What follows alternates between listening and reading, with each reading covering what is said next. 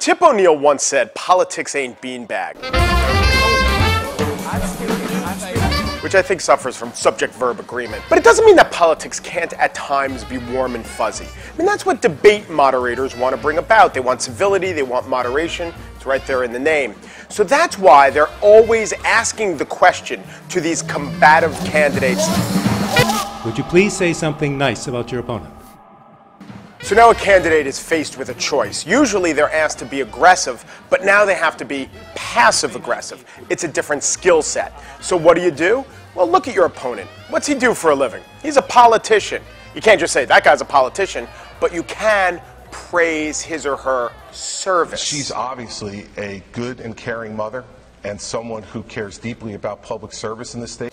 David, also for your uh, commitment to public service. Service can also mean military service. Senator Roberts' service to our country. I appreciate his service in the Marines. And sometimes you can praise both kinds of service at once. Makes you look patriotic and solutions oriented. has served our nation and our state and the Iowa National Guard. Now, a trait common to humans of running for office age is that they've very frequently convinced another human of the opposite sex to mate with them.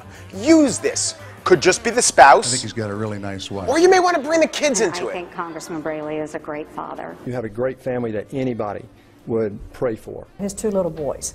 They are so cute. Now, if your opponent has noticed that, hey, wait a minute, that's about my kids, that's not about me, makes him look churlish. For the record, I think Linda McMahon said nice things about my little boys. um, no, I appreciate it. All right, another tactic is to praise something that is so small bore that your opponent doesn't even care about it. In fact, it might fall into the category of vanity. I would say that you are a very well dressed opponent. Or irrelevance. Well, he's good on late night TV. He's just not so good in the gym. And somebody Or golf. recently told me something that I didn't know about you, which is that you have a very good golf game. But really, when a candidate is asked to gush, what that candidate's going to want to do is reach for the shiv. But you got to be subtle. There's not too many things that, that, uh, that you don't like about Jon Tester. Great guy. All right, that's a great start. He reminds me of a good friend of mine that I had in the United States Senate, and he represented Minnesota. His name is John well, or, or uh, uh, Wellstone. Paul Wellstone. All right, hurts the anecdote when you can't remember your friend's name. He was a pure, he was a pure, really liberal, ultra liberal. There it is! I admire that my opponent has a set of beliefs that is entirely antithetical to the voters of the state of Montana. That's really admirable.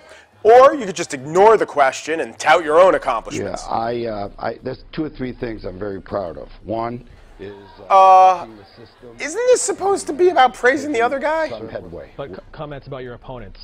My opponents? Yeah. I don't know. I don't follow 'em. Or you could do what Charlie Crist did. This is some super high wire jujitsu. He drives his opponent crazy with this thing. Um, I want to commend him on how he has uh, handled the Ebola situation. Uh, I want to commend him. Did you see that? It was short, it was sincere, it was seemingly earnest, and it discombobulated Rick Scott, who could only say, That's, that was pretty nice of him.